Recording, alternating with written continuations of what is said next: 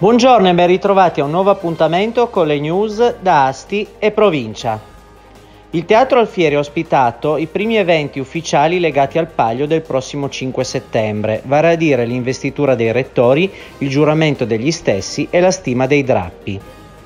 Ottenuta la garanzia della bontà dei due pali, il sindaco Rasero ha indetto ufficialmente e solennemente l'edizione 2021 della manifestazione, prevista per domenica 5 settembre Va precisato che la corsa e gli eventi ad essa abbinati potranno avere luogo solamente se l'evolversi della situazione legata alla pandemia sarà andata fortemente ad attenuarsi, o meglio ancora, come ha affermato Maurizio Rasero al termine del suo breve intervento, se la situazione di affizione che stiamo vivendo lo permetterà.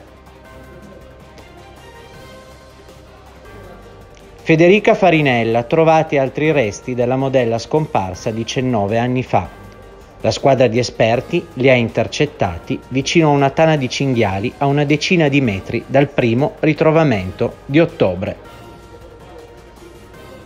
Nel campionato di eccellenza Girone B è dominio assoluto per le formazioni astigiane, prestazione maiuscola da parte dell'Asticalcio di Davide Montanarelli, che annichilisce 3-0 l'Albese in casa e resta a punteggio pieno in classifica reti di Giuseppe Piccone su calcio di rigore, Plado e Masoello. Risponde presente però anche il Canelli SDS del patron Bruno Scavino che grazie a una rete dell'ex professionista Testardi batte l'Olmo e aggancia i cugini a quota 9 punti.